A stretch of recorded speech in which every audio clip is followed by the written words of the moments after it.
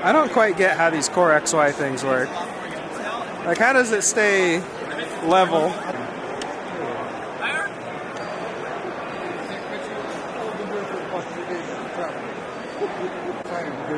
I had like 30 hours to get to the US Atlanta, and yesterday 12 hour drive in Atlanta. Thank you so much. I really appreciate that. So are you selling them, Bob? Not today, but we'll Uh, okay. for the holidays. Right now we also because it's like simple thing is well spread. Uh, it's supposed to be in the exact middle between this and I use I use the spacing. I use Yeah, the yeah, yeah. spacing according to yeah. But then the neck, the front very nice the guitar. That's the one I told you to buy. Oh, Yeah. Oh, you, want, you want to check it out? He, he, he DMs me and he's like,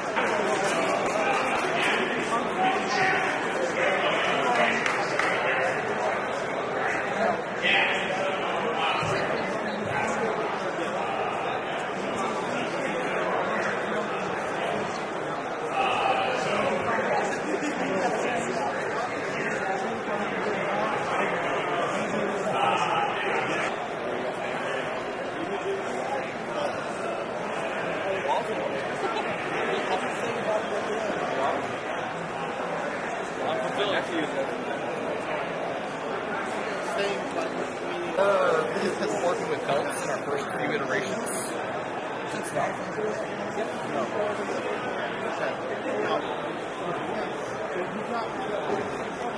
might, well, let's put it this way. If we get a chance to get this on Wi-Fi that is not like here fighting with a million other Wi-Fis, we might.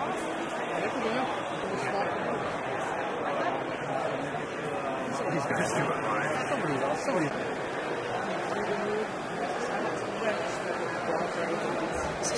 Yeah. Uh, You know what? I started making them because I was so mad at the keyboardists who were like, Want, don't want our audio in your video though. Oh, that's fine. I'll let you get in first. Oh, is this your first 3D printer?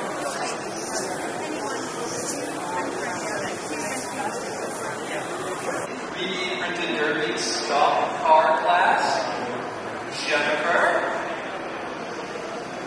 Jennifer Davidson.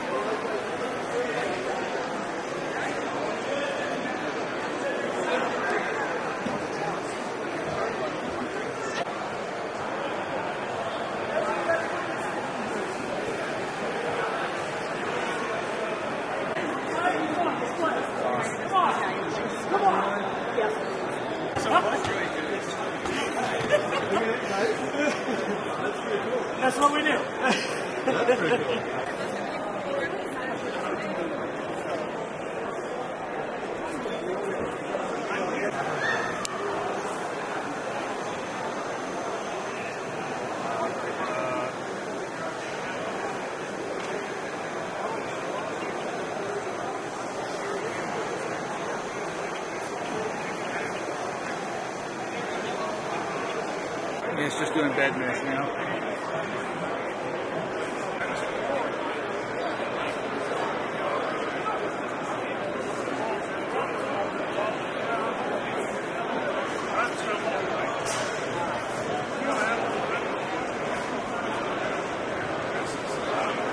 So is it slower on the first layer? Or Yeah, it's running 100 right now. Oh, okay. It jumps up to 350 once it breaks the first layer. All right.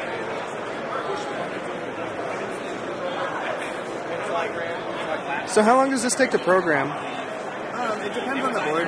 Um, you give it the position file uh, from like a river export. and Okay. It's not too bad. When you make boards, what is, what's your kind of uh, your supplier? Um, we use JLC for most of our boards. Yeah. But uh, this is actually a circuit board. This Oh, panel. okay. And so is this. Uh, this is our calibration panel. Uh, it's, we call it a datum board. And we get those from PCBWay and Matt Black as well. So it's actually running on a separate controller entirely. Okay. It's running on an E ESP32 that talks to Klipper via serial. Uh, all right. So it just sends a signal, a single serial command of run this profile, and then It's probably the unit number. And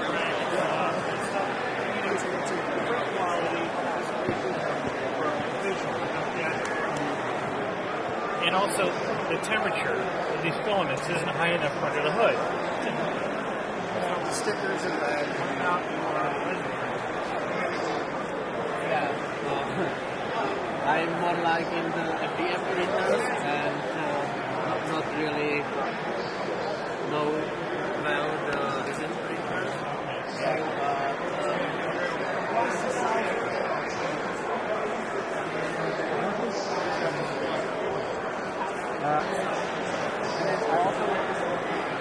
Hello, hello. Just taking a look. A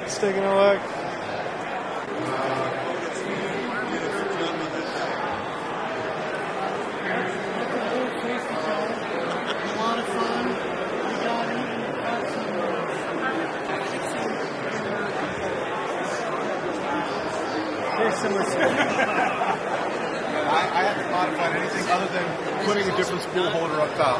Man, that thing's a monster. It runs, it runs Klipper at- from the manufacturer. Uh, this, is, this is your control board. Does it include that? Yes. So, that's it costs. Huh? What's it cost? It's around 800 That's it. Nice. You got it working. That's cool.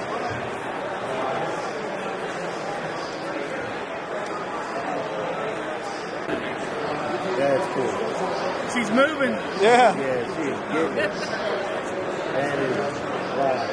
And uh, the dude down there with the giant stuff has like a four foot by five foot right area or something. So if you're talking like giant, giant, he's your guy to talk to.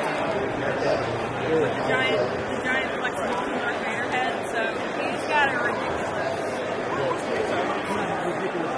Yeah. But it sounds weird when you say it that way.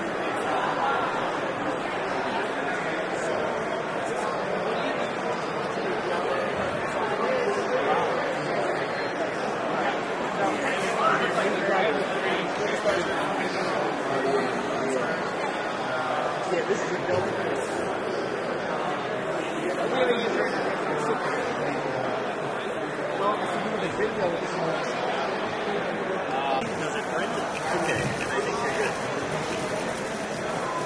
uh, got the Z joints broken, so the whole gantry's shifting. Oh well.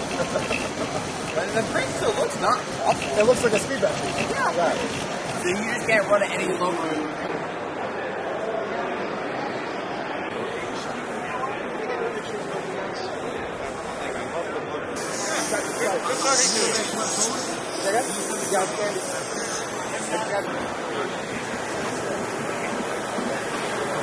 Wow, that's cool. Yeah, come get a shot on the back. I've got a custom loop here. Oh, water cooling? Yeah, for the hot end. Okay. That's impressive. So, uh, are you are you like a YouTube channel or No, just uh, Railcore? I- oh, yeah. I've heard of that. So I'm actually just a community Railcore. Okay. Uh, they released the, the Mini uh, like maybe eight months ago, and I'm the first person to build a, one of the Minis, and I just kind of like took it in an insane direction. Yeah. So right That's- now it's running a thousand millimeter per second. Uh, Wow. Travels and a 50k Okay. cells. I've got my Ender threes going, so you know.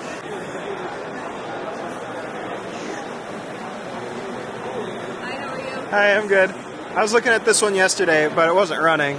Uh, but now it's going, so want to check it out.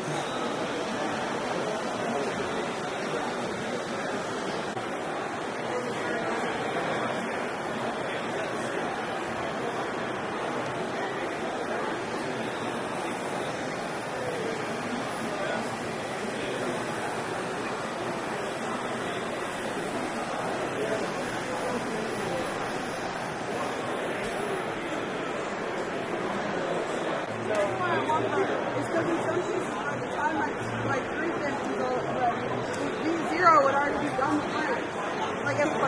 I'm like, but the Bruce's not as fast as the Wawa.